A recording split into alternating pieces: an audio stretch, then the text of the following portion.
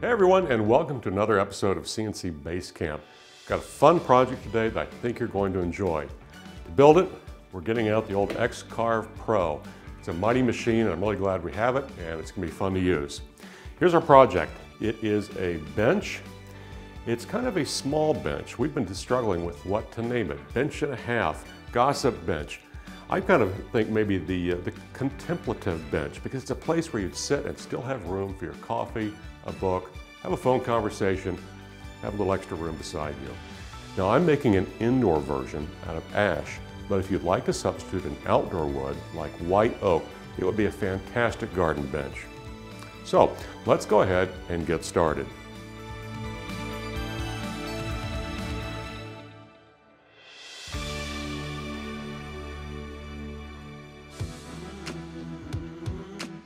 This episode is sponsored by Inventables. Design it, build it, sell it. Learn more at inventables.com. All right, well, it's time for us to start cutting parts. Now, if you look at the computer screen over here, you'll see the shape of the leg. Now, I designed these parts in Autodesk Inventor, created DXF files, and then brought those into VCarve. VCarve is a nice program and I'm familiar with it, so I wanted to stick with using it. One of the great things about the Easel system is that I can import a VCarve file directly into it, and so that's what I've done. My machine is set up with a 1 quarter inch upcut bit for efficient cutting in this ash. I've got my parts secured, everything is zeroed out. I think we're ready to start.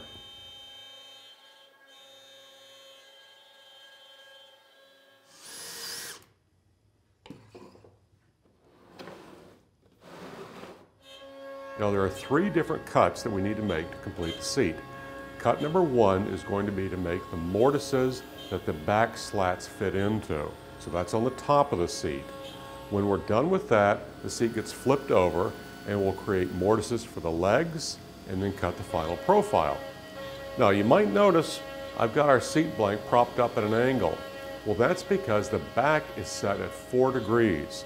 And so to create a four degree mortise, I've simply gone to my Autodesk Inventor program, made a little sketch, and it told me that I needed about one and 3 eighths inches propped at this back edge to create four degrees off the face. And so this is a super simple way for us to use a conventional CNC router and create some angled joinery. I've got everything set up with a quarter inch upcut bit, great bit for cutting mortises. I have created an XY datum point here at the center of my blank. However, I zeroed off of what would be the back edge of the mortise for those back slats. So this is one of those times where we got to think our way through a little bit. Well, we've completed the legs and we've completed the seat. Now it's time to produce all the uprights which go into the mortises that we cut on the seat and which will hold the crest rail. Now, one thing about these parts, there's a lap joint where the crest rail will sit. All the parts in this project will receive an eighth inch roundover. So to ensure a nice tight fit in this lap joint, what I need is not a 90 degree angled cut here at the intersection of these two faces, but rather a fillet. So rather than using a quarter inch straight bit, I'm using a quarter inch ball nose bit. On this part here, I've got the machine set up to cut pockets on two parts for this area. Once that's done, I'm going to change out the bits to the quarter inch straight, and then the machine will cut the outside profile.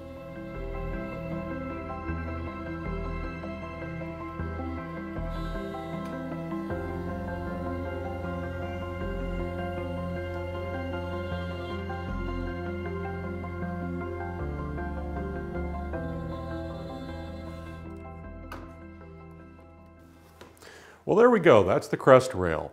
And that's the last of our parts for our bench. So what's left? Well, what I need to do now is to remove the parts from their parent stock and clean up all the tabs. Then I'm going to take a router with a 1 8 inch radius bit and I'm going to round over all the edges to soften things up. After that, a good sanding and then we'll be ready to start assembling. All the parts have been cut. I've routed the edges, given everything a bit of a sanding. We are ready to start assembling our bench. So the glue that I'm going to use is hide glue, just to give myself a little bit more time. You go ahead and use whatever glue you're comfortable with. So we'll start with the legs, and I'll begin by putting a little bit of glue in these mortises. And I'm going to put a little bit of glue on the tenons also to make sure everything is coated with glue. And you'll notice, of course, that I have routed the edges of these tenons, and that's part of getting them to fit in our mortises.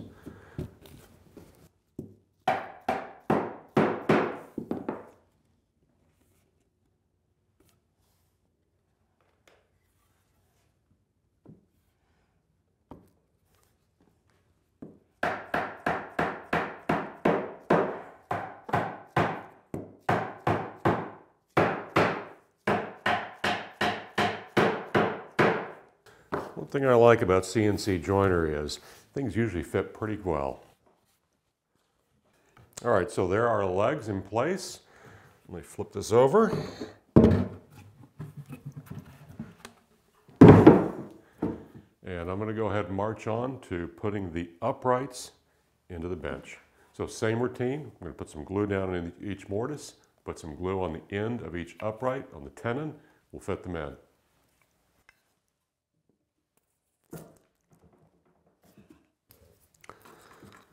So of course I'm using hide glue here, which I, I enjoy because of the long open time. It keeps me from having to rush so much. One glue we're using a lot in the shop these days is epoxy. And everybody seems to really enjoy it because it, of course it's good both in for indoor work and for outdoor work. But it has has a lubricating quality to it. So when you're sliding your joints together, they're not quite as grabby as with conventional yellow glue. And frankly, who needs the stress of a panicked glue up, right? So if you're doing an outdoor bench, epoxy would sure be a great choice.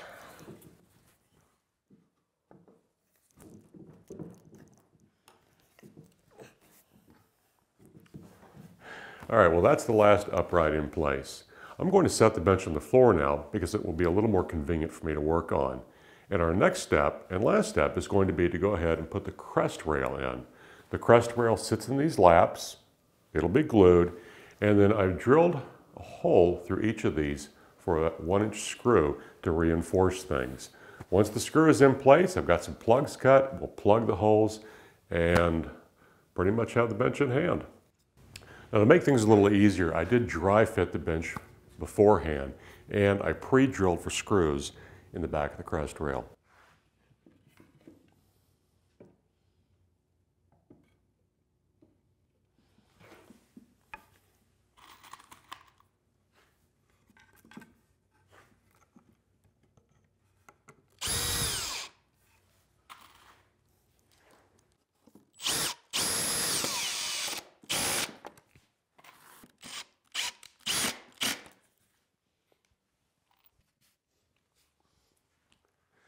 All right, so there we go. I think what we need to do now is just wait for the glue to dry. So what about some alternatives?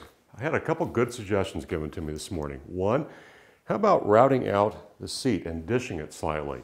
That would be an awesome thing to do with your CNC router. Another is think of the things that you could add up on the crest rail.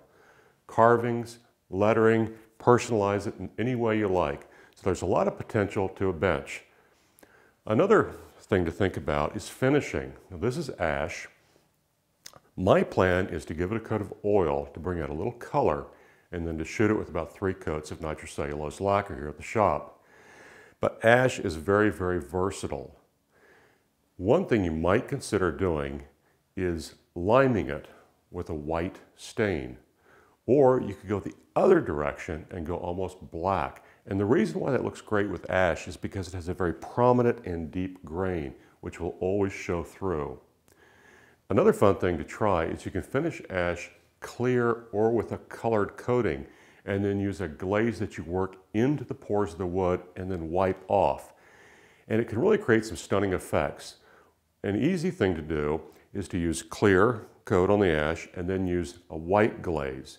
But you can make colors too using tempera paints and plaster. Add a little water, work that into the pores, sponge it off, sand off the haze on everything when it's dry, and then shoot it again with some lacquer or clear coating, a non-yellowing coating. So a lot of things to experiment with, a lot of things to think about. Now this has been a, a fun project. I hope you've enjoyed it. The DXF files will be available on our website along with a complete set of instructions. If you do build this bench, please send me a picture. We'd love to show it to everyone and would enjoy hearing from you.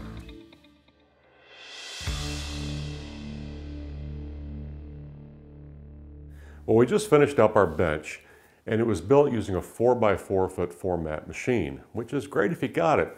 Most of us probably have more of a desktop machine, but don't let that limit you. If you use the feature of tiling, you can create large furniture projects and all sorts of things with a relatively small machine. So what we're going to do is do a little test piece in which we'll cut the crest rail of our bench on a 2 by 2 foot format machine. And the crest rail measures about 48 inches in length total.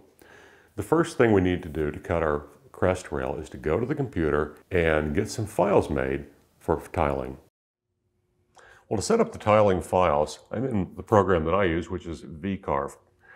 What I have here is my material, and I've set it up vertically in the screen here because one of the things you have to do is make sure you're oriented correctly to how you can pass material through your router.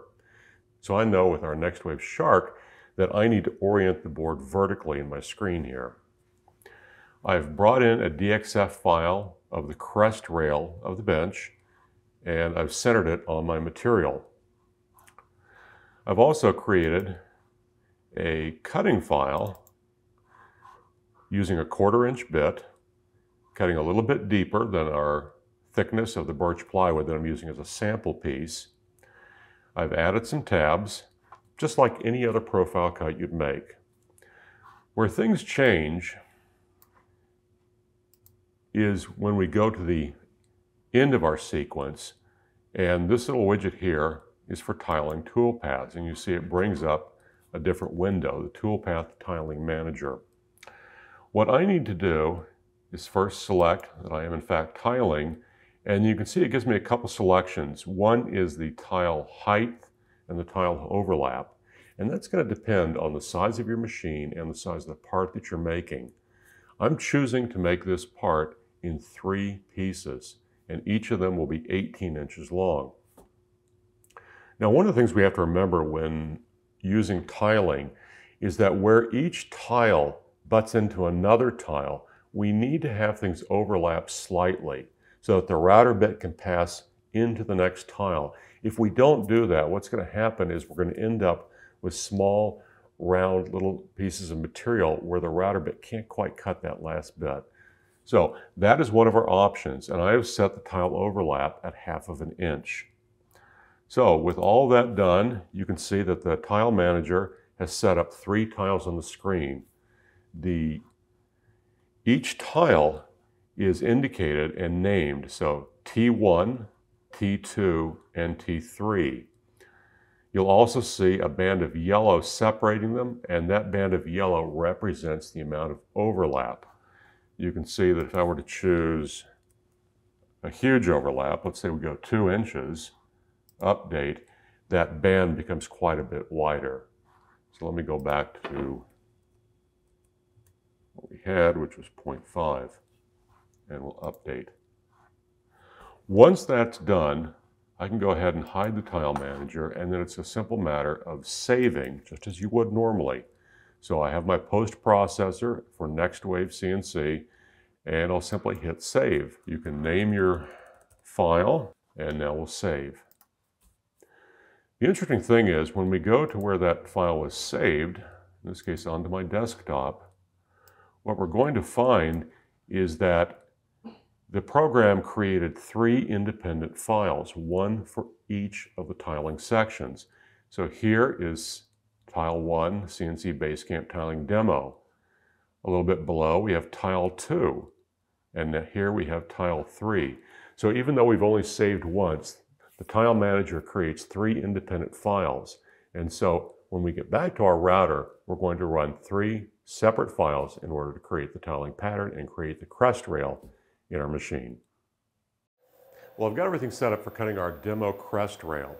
So I have a piece of plywood in here that's about 50 plus inches long by 11 inches wide. And I have it set up for our first pass. I'm going to choose the T1 tile file and turn on our spindle.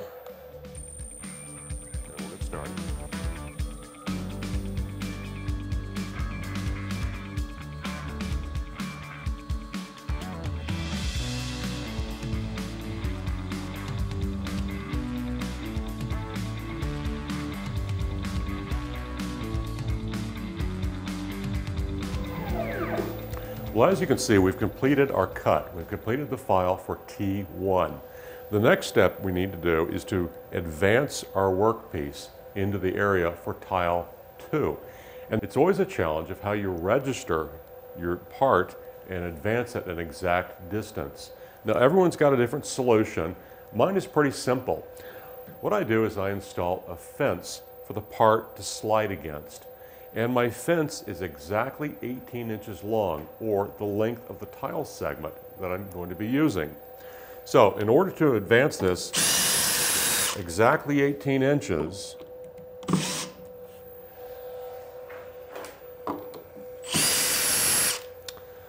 all I do is make a little tick mark with a pencil on the back of my fence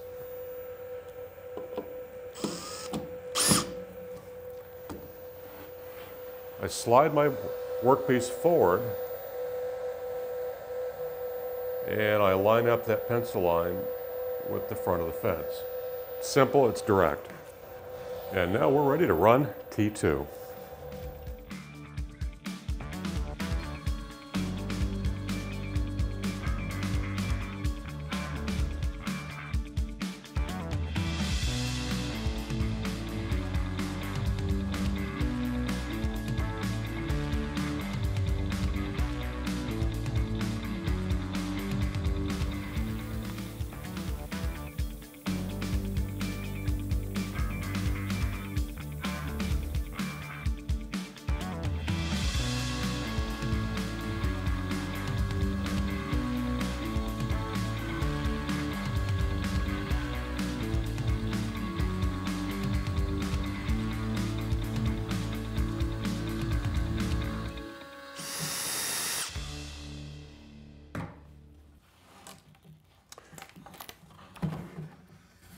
Well, there we go. There's our crest rail in three pieces, tiled on this small machine.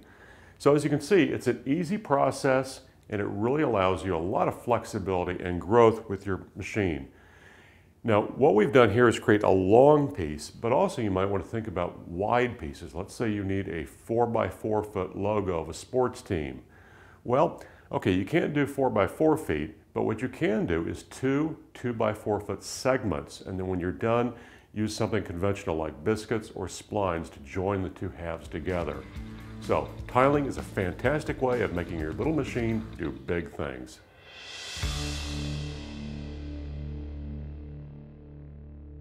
I think one of the more baffling parts of learning to use a CNC router is learning what combination of feed rate and speed of your router or spindle is right for the bit you're using and the material that you're using.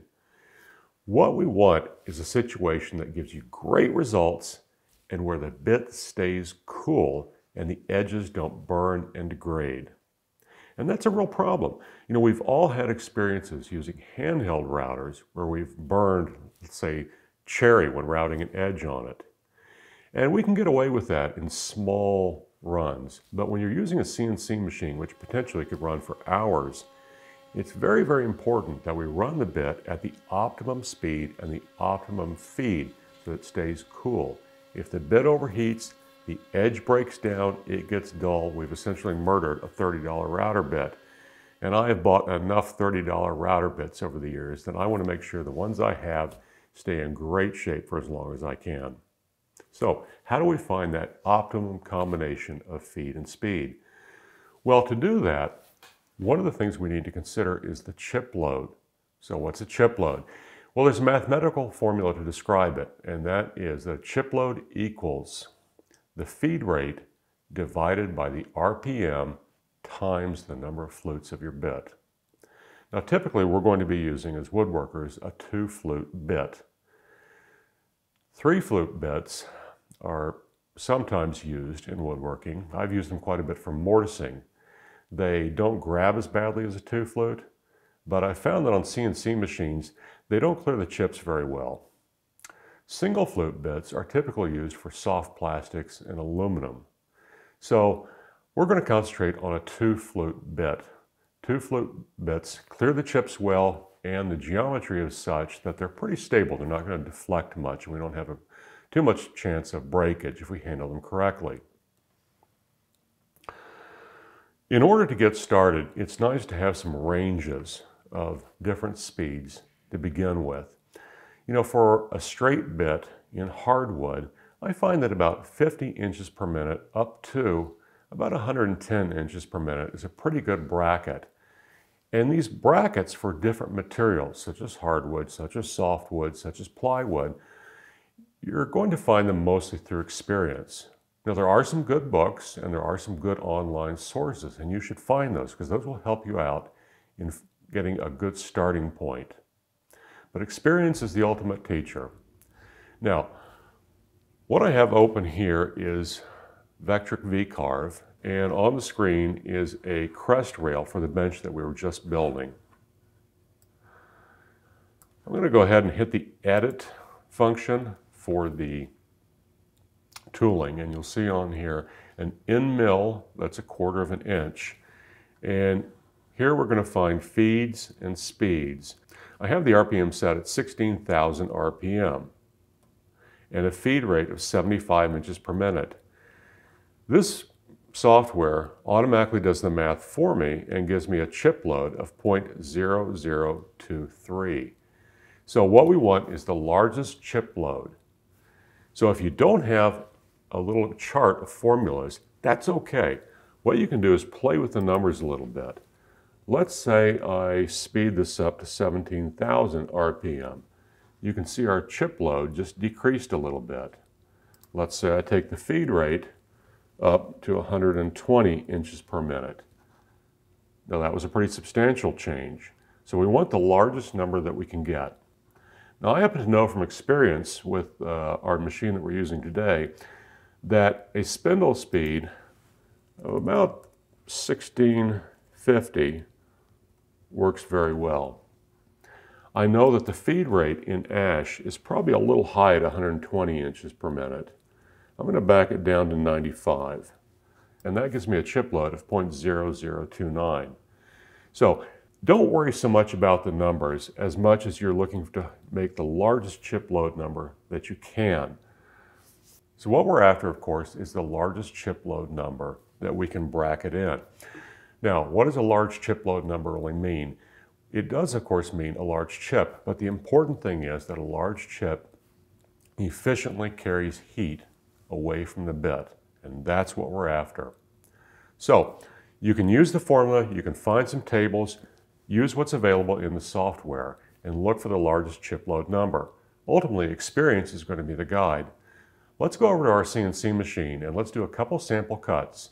The first one I'm going to cut very slowly at a fairly high RPM. The second one I'm going to cut at a little lower RPM and pretty fast and hopefully what we're going to see is a difference between the two.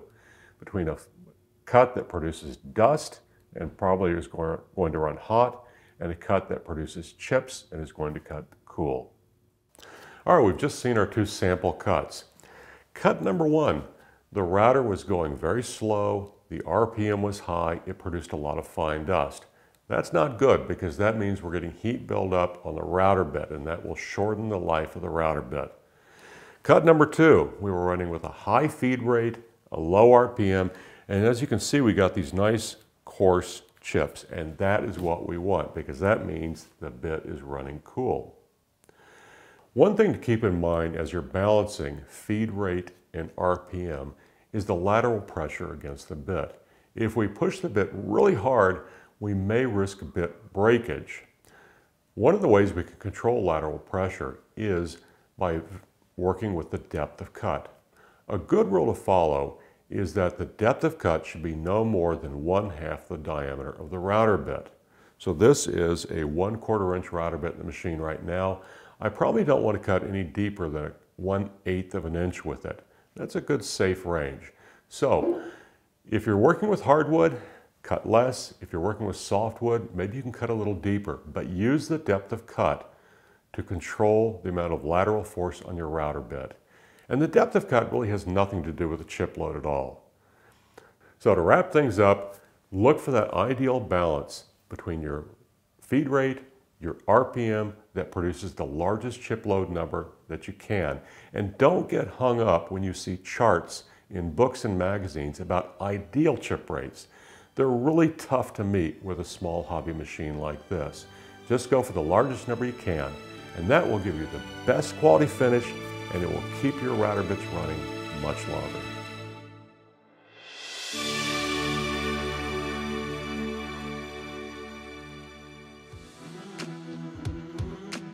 This episode is sponsored by Inventables. Design it, build it, sell it.